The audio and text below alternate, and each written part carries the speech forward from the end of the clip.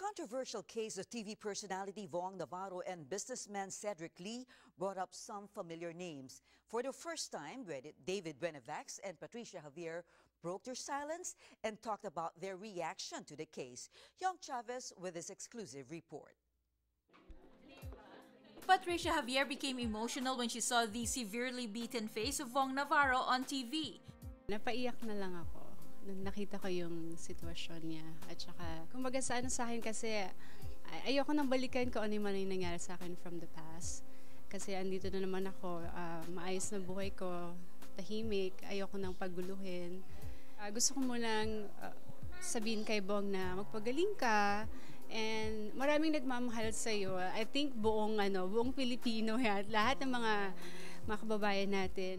Meanwhile, Cedric Lee's involvement in another case involving David Bonivach and his wife Jessica Rodriguez also surfaced. In a press statement released to ABS-CBN, David said like Bong, he was also wrongfully accused, physically violated, and even received death threats. The incident made him and his family leave the Philippines seven years ago and settle in California where they now live. Patricia Javier was saddened to hear her name brought up in reports talking about her past relationship with Cedric Lee. Lahat marami nagtatanong kung about Mr. Cedric Lee and uh, for me right now, I don't wanna say anything about it kasi wala naman ako dun sa mga pangyayaring yon and hopefully na lahat maging maayos na kung ano man ang nangyari kay Bong, eh, magkaroon rin ng justice kung sino talaga ang may kasalanan. Ever since ba, wala ka nang naging uh, contact with Cedric before nung after kayo nag-break up? I can say like siguro mga nine years ago, like that's the last time na nakita ko siya. When you left uh, nine years ago, masakit ba ang naging pag-alis mo sa Pilipinas? Um, masakit pero I think that's the right decision for me. I'm so, I'm so thankful na, you know, when I accept God to my life, parang mas maraming blessing nang dumating. Kagaya, nagkaroon ako ng asawa, na masasabi ko sa akin.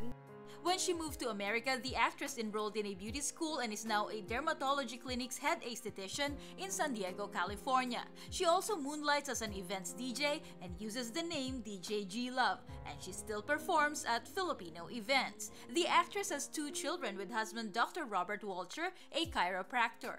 He understands itong uh, saan ako nanggaling. Parang lahat, he support me kung ano man gusto. Patricia says she regrets entering into a relationship with Cedric who's married. Tao lang tayo, nagkakamali, di ba? Pero dahil dun sa mga pagkakamali, dun naman tayo na nag, natututo. Total, nandito na to na tinatanong mo ko about him.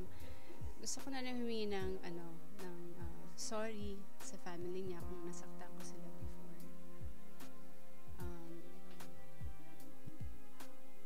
hindi ko sinasadya.